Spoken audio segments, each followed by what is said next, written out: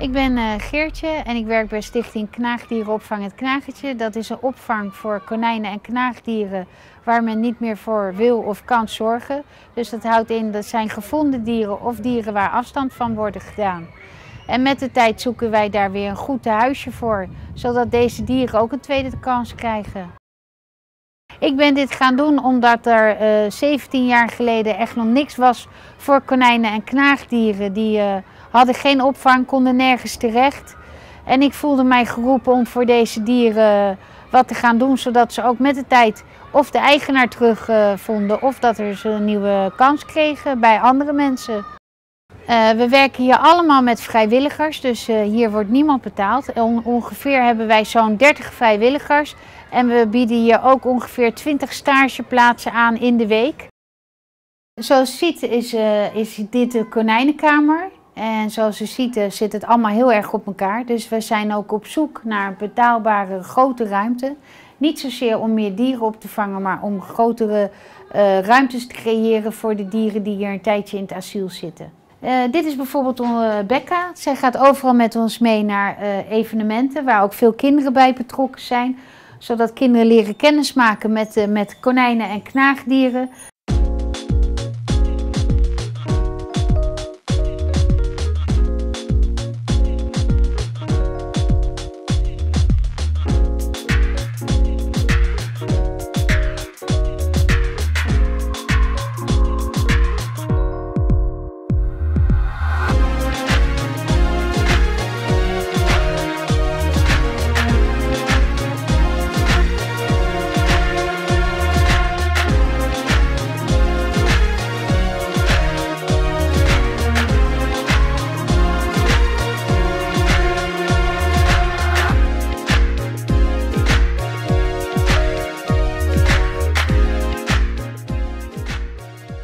Om terug te komen op de ruimte, ja, eh, niet alleen voor de dieren, maar ook voor de, voor de medewerkers, de vrijwilligers, de stagiaires.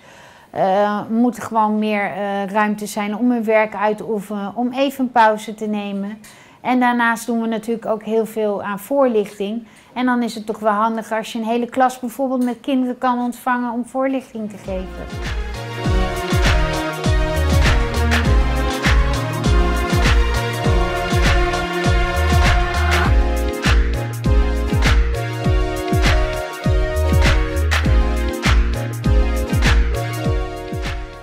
Deegoes uh, zitten hier ook. Het, dat zijn geen knuffeldieren, maar echt uh, kijkdieren. Uh, waarschijnlijk komen ze ook op de verboden lijst. Dus dat wil betekenen dat we ze niet meer kunnen uitplaatsen. En moeten wij ze hier in de opvang houden. Dat zou toch wel heel triest zijn dat de deegoes hun leven lang in asiel moeten slijten.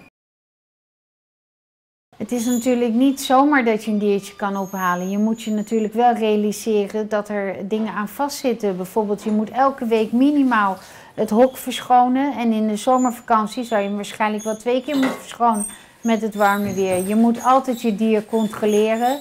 Of die geen lange nagels heeft, geen doorgroeiende tanden. Al elke dag vers water hebt. Dus het is niet een dier wat je even neemt en in een hokje zet en niet meer naar om hoeft te kijken.